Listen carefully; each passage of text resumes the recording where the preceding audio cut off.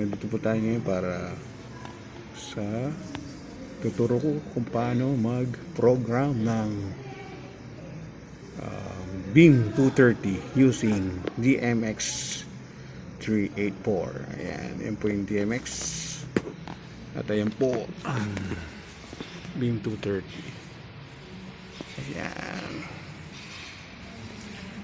Okay let's go. Natin ang DMX ay the Binter 30 sa address na 001 na yan. At ito po. Nakam siya para sa dun sa DMX okay na okay na. Siya. Ready to program yan. Kasi naka-address na siya sa 001 Okay, dito tayo sa DMX dahil na, nasa address siya na 001 sa ating 230, 7230. Ilalagay natin sa scan 1. Ayan, nag-ilaw po siya. Scan number 1 and then uh, dahil magpo-program tayo long press lang po ang program. Ayan. Ito, program. Ayan, long press lang yan. Ayan. Gano'n, nag-blink na siya doon. Ready to program na yan. Ready to program. Okay, start na tayo. Dahil uh, i basta i-slide lang natin ang number 2 and 3 kasi yung pinaka-gate niya. Parang gate, kumbaga, opening ng ilaw. Ayan. Wala siya. Eh. Wala. Yan na natin, 2 and 3. Ayan, meron na siya. Ayan, umilaw. Ayan, umilaw na siya. And then, ang 10, number 10. Slide lang natin ang 10. Itong pinaka parang uh, tilt. Ayan, ang tilt. Ikot-ikot. Ang 12 is up. Ayan. Up and down yun basta and 10 is tilt number 12 is up and down yan. Okay nasa taas na yan. Bilog lang siya. Ang number 5 ito 5 slide natin 5 yan parang pinaka-design yan, yan. number 6 ikot. Yan ang ikot. Yan hindi makita eh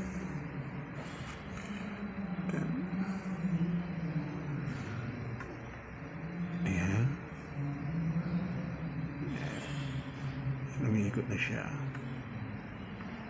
Okay. Number 6 yung pang pag-ikot. Yan.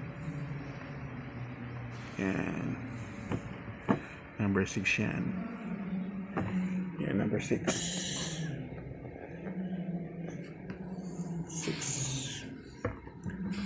Tapos yan. Kung gusto mo yung ibayin ng kulay, number 1. Ito yung 1. Ibayin natin ng kulay. Ayan. Yan. Red, yellow, green. Yan. Yan. Basta number 1. Pili ka lang. Gusto. Yan. Basta yung 5, pinaka-design yan. Yan. Pag 5, ano lang siya, bilog, parang spot. Pero pag 5, yan. Prism, yung prism niya. Yan. Number 6, ikot. Yan, ikot. Yan. Magsasave na tayo sa GMX Music program natin. Ayan. I-create tayo ng scene 1 to scene 8. Ayan, dapat yan. yan. Hanggang scene 8 yan. So, kung kunwari okay yung design na ganyan, naka-prism. Ikot-ikot yan. Number 6. Yan. Yan. Number 6 pinindot ko yung 6 yan ito yung number 6 medyo ano lang mabagal. Mabagal lang.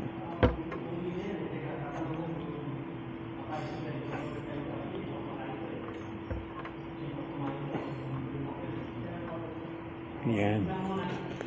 Okay na yan. Tapos Siyempre, ilalagay natin sa scene 1.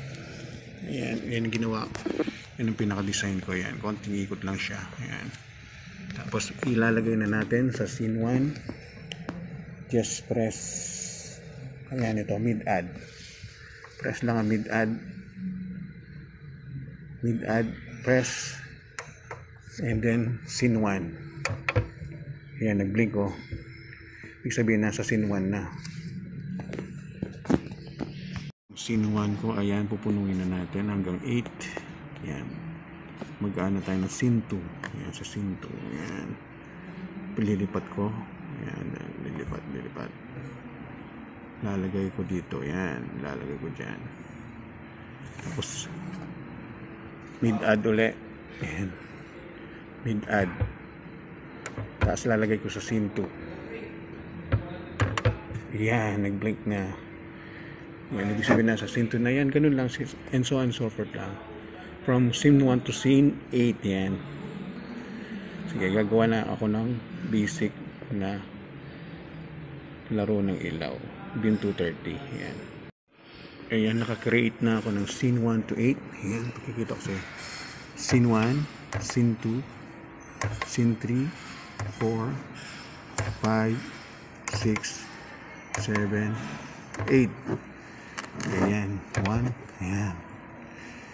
Papasok na natin sa mismo yung para mag ano na mag automatic siya. Just press long press ulit yan yung, program. Long press lang yan. Long press ulit ito. Long press yan. Ayan nag blackout siya.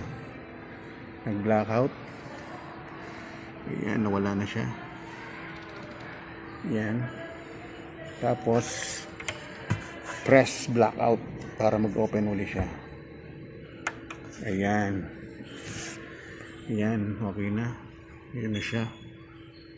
Tapos pinutin na ang auto del auto. Para mag-automatic na siya. Ayan. Tapos itong speed at fade time. Angat lang yan tapos tansyahin mo lang kung saan hanggang magpe-play siya. Ayan. Ako ito na lang. Ang bilis niya. Ayan. Ayan. medyo ano. Ayan. Yan yan yan yan